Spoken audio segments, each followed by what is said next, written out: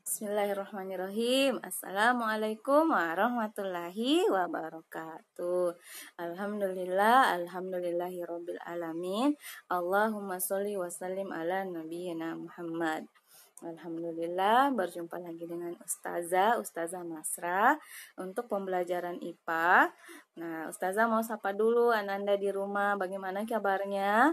Ya, semoga sehat selalu dan tetap semangat uh, beribadah kepada Allah, melaksanakan kebaikan, dan belajar di rumah. Insya Allah, amin. Nah, sebelum kita uh, mulai pembelajaran, kita berdoa dulu membaca basmalah dan doa sebelum belajar. Bismillahirrahmanirrahim. Rabbi zidni ilman warzuqni fahman wa alimni bisolihin amin. Ini robbal alamin ya. E, materi kita kali ini ya mata pelajaran IPA di kelas 4 adalah pemantulan dan penyerapan bunyi. Nah ada empat poin yang akan kita bahas untuk materi kali ini, yaitu yang pertama pengertian pemantulan bunyi, yang kedua macam-macam bunyi pantul, yang ketiga pengertian penyerapan bunyi, dan yang keempat benda-benda penyerap bunyi. Nah, kita simak dulu uh, uh, firman Allah dalam surah Al-Ankabut ayat ke-37. Nah, ada pengantarnya ya. Pada ayat lain diterangkan bahwa kehancuran umat Nabi Shu'aib atau kaum Madian adalah berupa satu dentuman dahsyat berupa gempa. Allah berfirman, maka mereka mendustakan Shu'aib, lalu mereka ditempa, ditimpa gempa yang dahsyat dan jadilah mereka mayat-mayat yang bergelimpangan di tempat-tempat tinggal mereka. Nah, di sini ada kata dentuman ya. Dentuman dahsyat berupa gempa. Dentuman itu adalah suara yang sangat keras ya. Uh, suara yang sangat keras yang bisa uh, apa yang berupa gempa yang mematikan uh, kaum Madian. Kenapa? Karena mereka tidak ingin beriman kepada Allah mereka tidak apa mereka tidak mengikuti perintahnya Allah. Nah, e, semoga kita ya tidak seperti mereka ya, semoga kita tetap menjadi orang-orang yang beriman hingga akhir hayat kita sehingga kita berkumpul dengan orang-orang soleh ya. Insya Allah, amin. Nah, tujuan pembelajaran untuk materi kita kali ini adalah setelah kita mempelajari materi ini, semoga kita mampu menjelaskan pengertian pemantulan bunyi. Kemudian, eh, kita mampu menjelaskan macam-macam bunyi pantul. Eh, selanjutnya, kita mampu menjelaskan pengertian penyerapan bunyi. Dan yang terakhir, kita mampu menyebutkan benda-benda yang dapat menyerap bunyi. Nah, kita bahas yang pertama dulu ya. Pengertian pemantulan.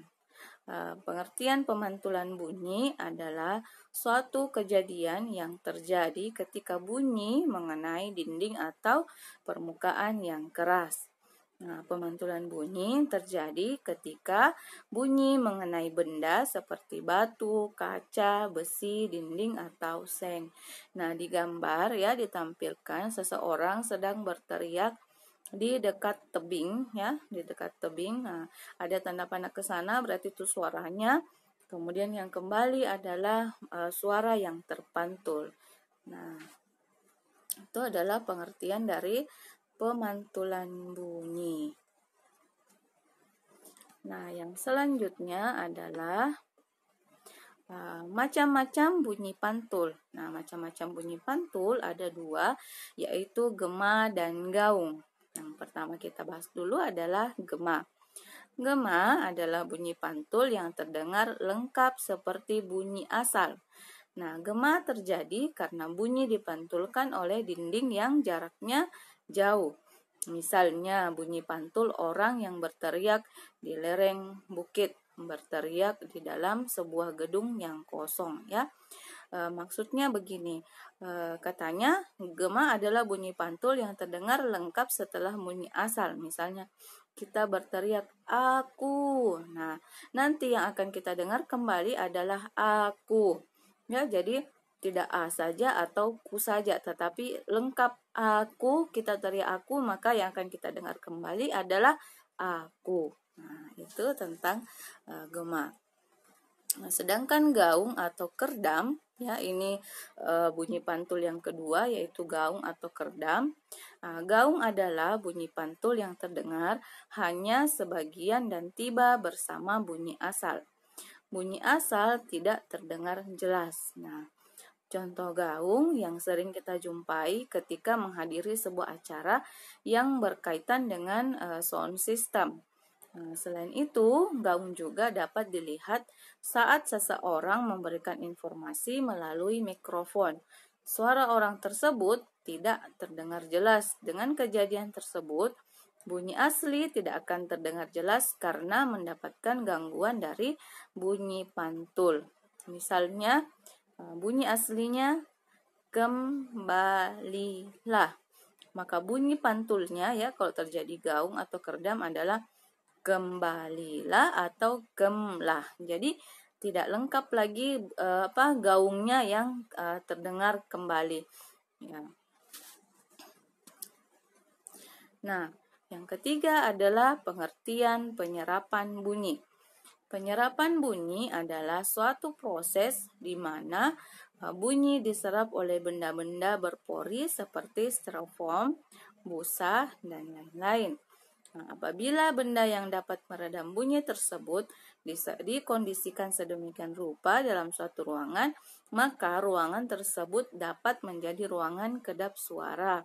Biasa dijumpai dalam uh, ruangan karaoke. Jadi, uh, supaya suaranya tidak uh, gaung ya atau tidak uh, kerdam di dalam suatu ruangan, nah biasanya di dinding ruangannya itu biasa dipasang uh, busa ataupun biasa dipasang uh, semacam karpet ya di dinding-dindingnya supaya tidak terjadi uh, uh, gaung atau kerdam sehingga suara yang misalnya di dalam ruangan tersebut menggunakan mikrofon dan ada sound system, suara orang tersebut ya, suara orang yang memakai mikrofon tersebut bisa terdengar jelas ya. Nah, eh, yang keempat adalah apa saja benda-benda yang dapat menyerap bunyi. Eh, benda-benda peredam bunyi atau yang dapat menyerap bunyi digunakan untuk mencegah terjadinya gaung agar suara terdengar jelas dan tidak terganggu suara dari luar. Nah, benda-benda peredam bunyi biasanya digunakan pada ruangan studio rekam, gedung bioskop atau gedung pertemuan. Nah, di gambar sudah diperlihatkan ya, ditampilkan contoh benda-benda yang dapat menyerap bunyi. Ada uh, wall, ada spon, kertas, kain, busa, karpet, karet, dan karung goni. Nah, benda-benda ini dapat meredam atau dapat menyerap bunyi. Jadi sehingga um, Ketika seseorang berada di dalam ruangan seperti yang Ustaz jelaskan tadi ya, ketika seseorang berbicara menggunakan mikrofon ataupun ada sound system yang digunakan, jika tidak menggunakan benda-benda ini, maka suara orang tersebut tidak apa tidak akan jelas didengar karena akan tergaung ya atau terkerdam di dalam ruangan tersebut. E, maka ketika benda-benda ini, benda-benda yang dapat menyerap bunyi dipasang di dinding e, ruangan tersebut, misalnya di bioskop ya, e, di dindingnya terpasang ada biasanya karpet, karpet di dinding bioskop itu. Nah, itu gunanya adalah untuk meredam bunyi dari atau suara dari layar atau dari sound system dari film misalnya yang ditampilkan di bioskop. Nah, ini contoh pemasangan benda penyerap bunyi di bioskop. Jadi perhatikan yang e, di dindingnya itu berwarna kuning. Nah, itu biasanya ya karpet. Karpet yang dipasang di dinding-dinding e, ruang bioskop. Nah, alhamdulillah Uh, demikianlah materi yang Ustazah sampaikan untuk pertemuan kali ini. Semoga uh, bisa dengan mudah dipahami oleh Ananda ya. Tetap semangat belajar di rumah. Uh, sampai jumpa insya Allah di pertemuan selanjutnya. Syukuran atas perhatian Ananda. Assalamualaikum warahmatullahi wabarakatuh.